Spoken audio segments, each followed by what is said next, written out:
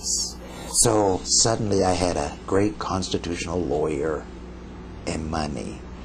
And uh, actually, at the beginning, when I was sitting outside of the lawyer's office, the executive vice president, Harding Bancroft, came out. He said, Where did you find this? Amsterdam. He said, This is the best thing that happened to us so far. They love this guy. Brilliant lawyer. However, in time, they came to despise him because they couldn't control him. But from that day, the black journalists and this extraordinary lawyer, we fought this case and we won a tremendous victory.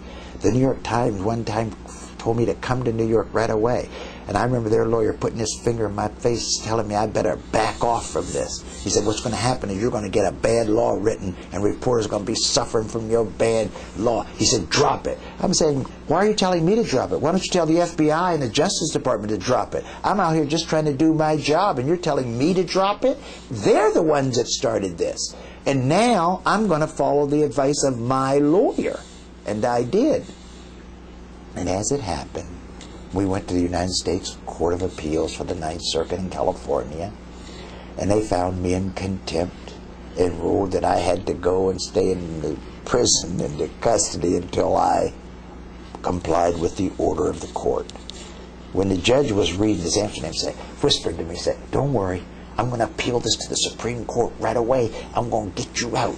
You won't be in there long."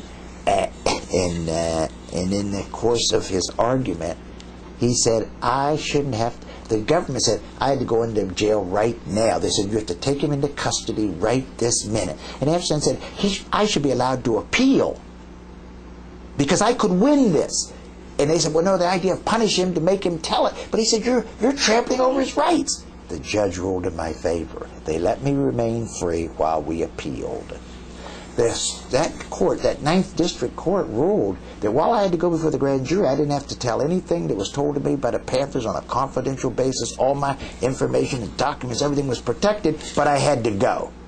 But that was a secret proceeding. I'm saying, if I just go down there, the Panthers will say, whoa, whoa, whoa, what are you doing down there before a grand jury that's investigating us if you're not going to be telling anything about us?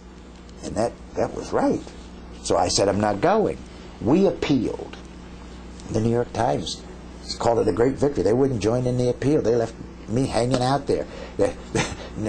Abe Rosenthal wrote a letter. It said, put it on the bulletin board. He said, well, we all, everybody, we all feel sorry for Earl Caldwell in a difficult position he finds himself. Like it wasn't even their reporting to protect their one of their own reporters.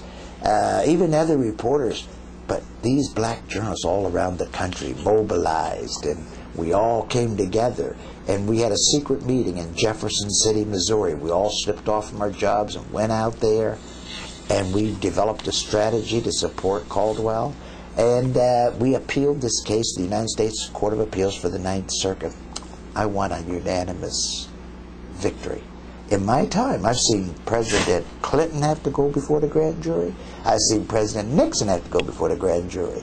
The only American I know that's been subpoenaed before a federal grand jury and was the ruling of the court was that he doesn't have to go, doesn't even have to show up, is me, Earl Caldwell. And the court ruled unanimously that the First Amendment not only protected reporters' information, their notes, and, and the right to hold confidential sources, but also protected the reporting process. And they said if Caldwell goes down there before the grand jury and he doesn't have to give any confidential information, he would be destroyed as a reporter.